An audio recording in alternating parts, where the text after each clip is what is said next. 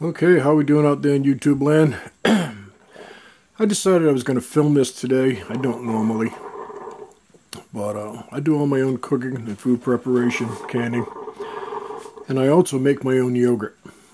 I love yogurt. And I like nice, pure, clean yogurt.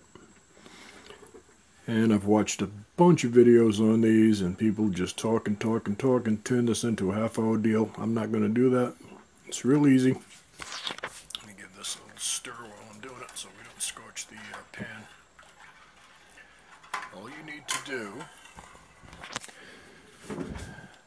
Is get yourself some whole milk. This is Prairie Farms. I got that down in my locally local Piggly Wiggly. I have a uh, meat thermometer, or anything else for that matter. This thing's wonderful. Matter of fact, we'll give it a probe right now and see where we're at. 73 inside, 65 degrees outside. Beautiful today. All right, we're at 152. Okay, put that down for a second. See if I can get my uh, phone back up and running. All right, I'll come back in a minute and I'll show you what else you need. I need two hands to do this. Okay, I'm back. Just stirred the milk. I used uh, Dannon yogurt the first time. And now I lost the focus on here.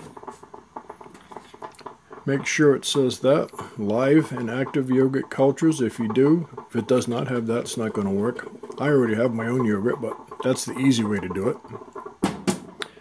Last time I bought that, it was running about 375 a quart. And here's the one I made about, it's the last of it, two and a half weeks ago.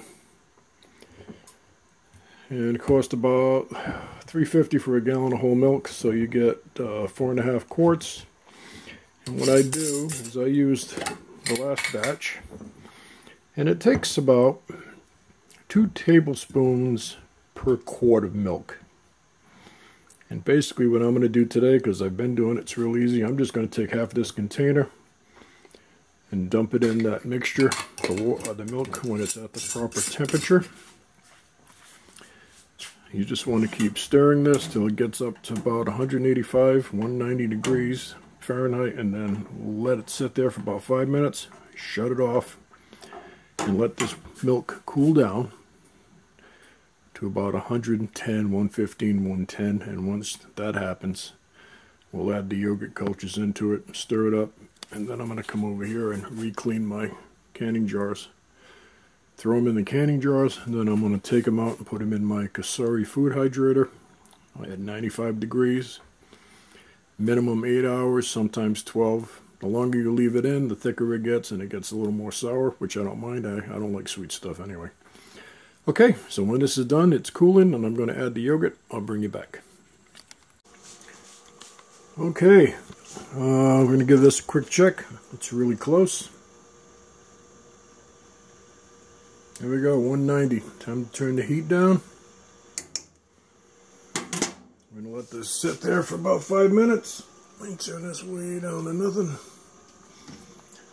I'm going to let that sit for about five minutes and then I'm going to shut it off and then let it cool down to about 110, a little below 115 and I'll throw in the uh, yogurt mix. I'll try to film that, show you that. I mean, there's absolutely nothing to this. So this is ready to go. Let it sit for a few minutes. Turn the oven off and wait for this to cool down. Stirring it helps. And when you're stirring your setup here, you want to use a metal or a plastic. You don't want to use any wooden spoons in here. Might be some bacteria or something. That wouldn't be good. Alright, nothing to do now but wait. More to come. Okay, I'm about 15 minutes away, 15 degrees rather, from uh, my mark of 120. I poured a half pint of uh, milk, let it cool off, put it in that little mug. I'm going to mix in the yogurt. There's nothing to this, and I'm going to stir it up. That makes it easier. And while I've been waiting for the milk to cool down, I've made myself a nice big bowl of chicken salad. So you want to use about two tablespoons per, per quart. You don't have to go crazy measuring it. That's two, three, four, five, six, seven, eight. It ends up being about a half a pint. We'll give her another one because I got plenty and I have enough to enjoy this evening. And that's what you end up with. That's the last batch I made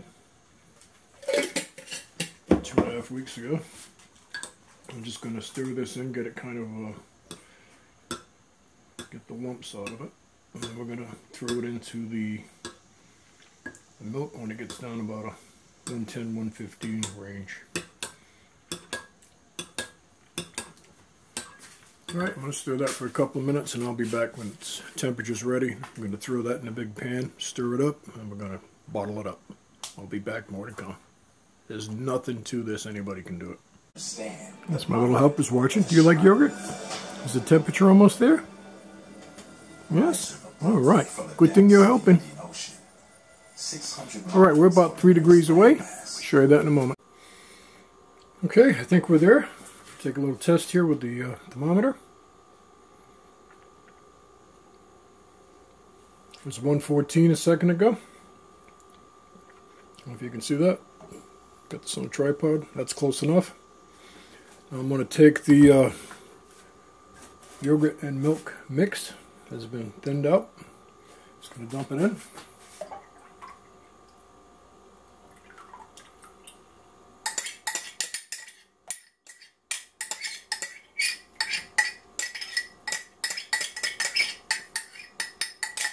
what are you're going to do,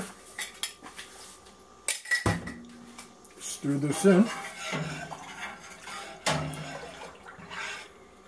That's where making that pre-mix helps quite a bit. You're not sitting here trying to stir in a bunch of lumps.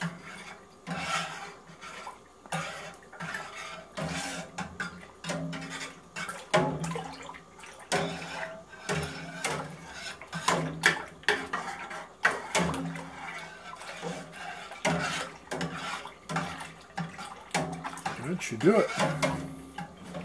We're just going to fill up the bottles. However you want to do it. That's basically all there is to it. So I'm going to fill these up. And then I'm going to take them out to the uh, my Cosori dehydrator. Set it for 95 degrees for 12 hours and I'll show you that when we come back. Okay, I've got the uh, bottles out here in my Cosori dehydrator. You do not need one of these. You can just keep them as warm as possible, wrap them up with blankets, put them on the counter, stick them in your oven. You want to try to keep them as warm as possible, 80 90 degrees, 95 degrees if you can. This is so simple. You just touch this little button, set at 165. I want to be 95.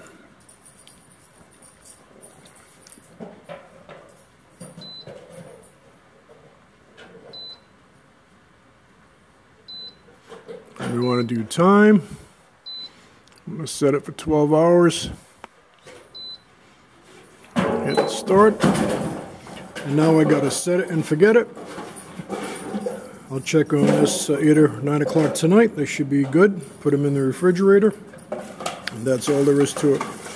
And again, no special tools required. Just that easy. All that noise in the background. It's the crazy dog taking her uh, plastic jug for a walk. All right, give this a try. Nothing to it. You save a lot of money, and you know exactly what's in it. All right, that's it. Thanks for watching. Okay, here's the uh, finished project uh, product. It's the next day. Uh, these sat in the uh, dehydrator in the incubation period for about nine and a half hours. Took them out about 8.30 last night. They've been in here all overnight in the refrigerator. I'm going to uncap one for you.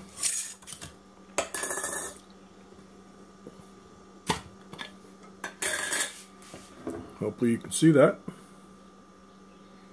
And there's your finished product.